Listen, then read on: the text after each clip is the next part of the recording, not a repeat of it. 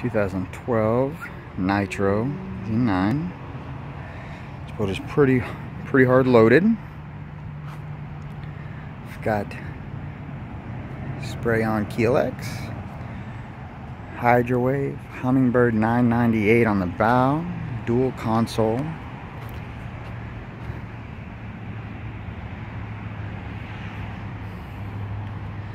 The Humminbird 1198 on the console with an HDS 7.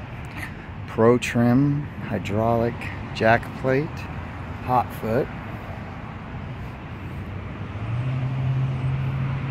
Mercury 250 Pro XS.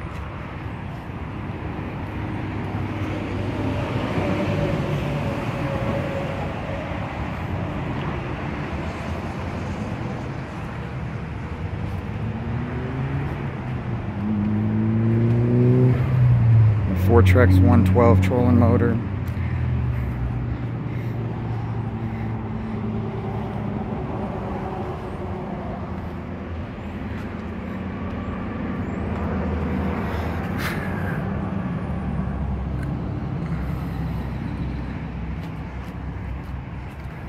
It's a pretty clean rig.